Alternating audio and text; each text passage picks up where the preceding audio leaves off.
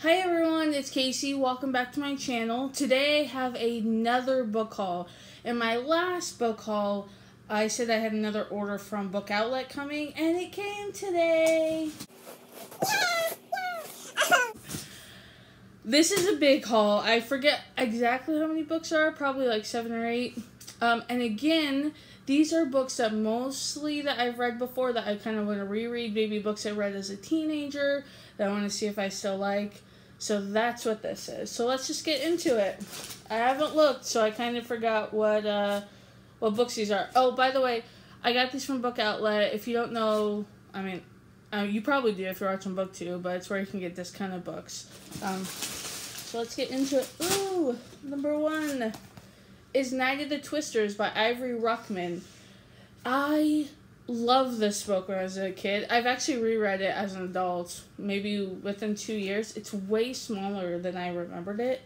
It's only 153 pages. This is about, it's a fictional story about a true night that happens. It takes place in Nebraska and it's about this uh, group of tornadoes that came. So the tornadoes and the storm system is real. Um, but it follows a boy. He's probably like 12, 11 or 12, and he he's with his friend and he has to take care of his baby brother like like baby probably like a year old. Um, and then they go and they're they're alone so they have to go find their parents and everything. It's really good. I grew up in nebraska and this takes place in nebraska so i really liked it. Um, i would recommend this for for kids. It's not it has tornadoes so it's not you know super scary. It's just you know an elementary book. So i'm super excited to read that then I also have, let me see if I can find the other one. So these two kind of go hand in hand. It's Sarah Plain and Tall, and the sequel is Skylark. These are by Patricia MacLachlan, and there's movies of these. Um, Sarah is played by Glenn Close, and the father in these is played by the guy with the funny voice, Christopher Walken. Christopher Walken is in these two. Um, so these are about, these are also way smaller than I remembered. This is only like 67 pages. I had no idea. I mean, as a kid, I thought these were so long. Um, so anyway, the first one is about this this family who is somewhere in the Great Plains. I'm not sure exactly. And they don't have a mother, so the father kind of puts an ad out for a mom. And Sarah is one of them who answers, and so she goes, lives with the family, and it's just about them and there's a sequel. There's another one after this called Caleb's Story, I think, um, that I might get. But I just really wanted to re- reread these and then rewatch the movie. Um, it's very good. They were like Hallmark classic movies. Uh, the next one I got is Bridge to Terabithia. I, of course, also read this as a child. I haven't seen the movie. I really want to, but I think I want to reread it first. This book is so sad at the end. Like, it has one of the saddest endings, but it's also I think why I kind of love endings like that too. Um, that are like this. This is by Katherine Paterson. Um, and of course, if you don't know what this book is about, it's about these two friends, and they kind of like cross this river and go into this, um, this land called Terabithia. Um, and it's really about their friendship and kind of like a coming of age story. Um, it's so good. I haven't read this in a very long time, so I don't remember the actual details, but I'm very excited to read this one as well. Then the next four books are all in the series I have, and this was one of my favorite series when I was like 13 to 16. They are The Sisterhood of the Traveling Pants by Ann Brashares. Amber. um, I love this series when I was a kid. I love the movies, and I thought these were cool covers. There's this one. I don't know in what order. Well, this one is clearly the second one. The second summer of the sisterhood, and then I'm pretty sure this is the third one. Uh, Girls in Pants.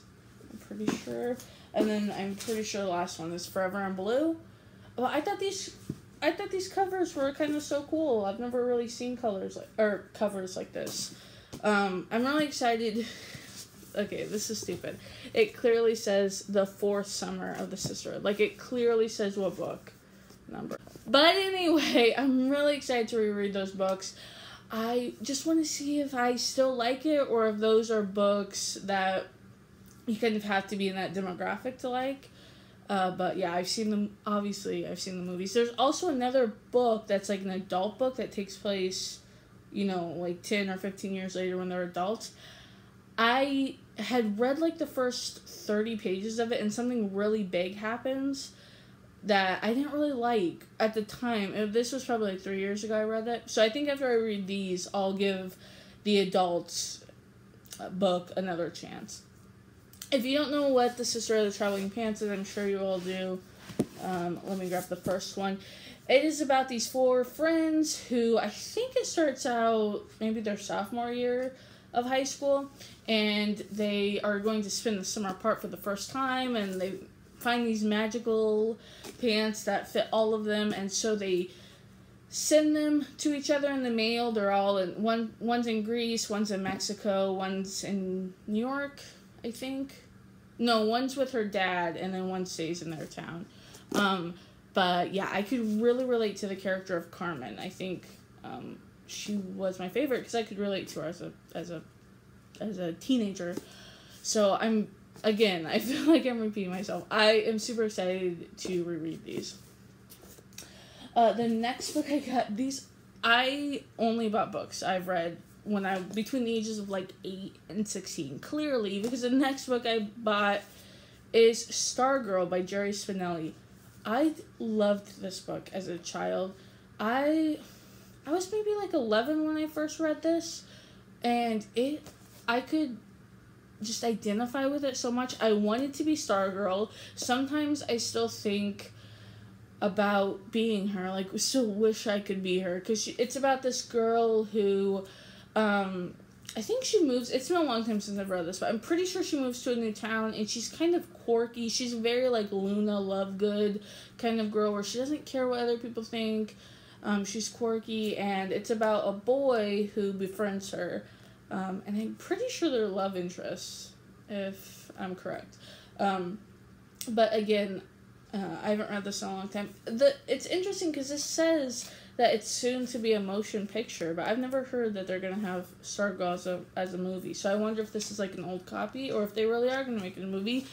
Because that would be incredible. Who could play her? I don't know. I just picture Luna Lovegood, whoever that actress is, playing her. Um, and then I have one last book, and this is one that I totally bought because of BookTube. It was so hyped maybe last summer or some something one of those subscription boxes had it in it so like all the youtubers got it. But it is my lady jane. Um this book i'm not exactly sure what it's about. It's about it follows one of the queens. Um this jane becomes a queen and um i'm not sure exactly to be honest. Let me read it real quick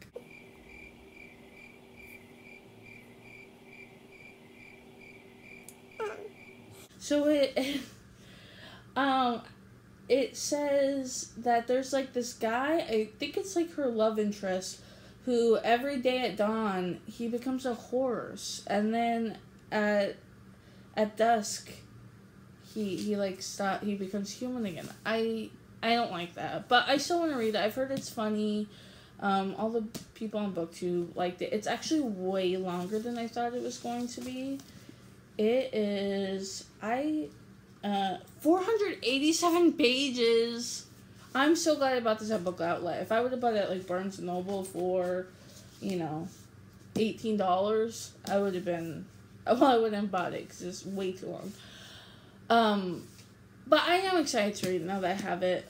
Um, I've heard again that it's funny. I like history. I don't really like English history. I just got sucked into the hype, guys. Okay, Cut me some slack. Okay, those are the 10 books I ordered from Book Outlet. Um, please subscribe to stay up to date on my videos and leave a comment telling me maybe what book I should read first or what do you think about any of these books I got or if you have recommendations for future books I should order.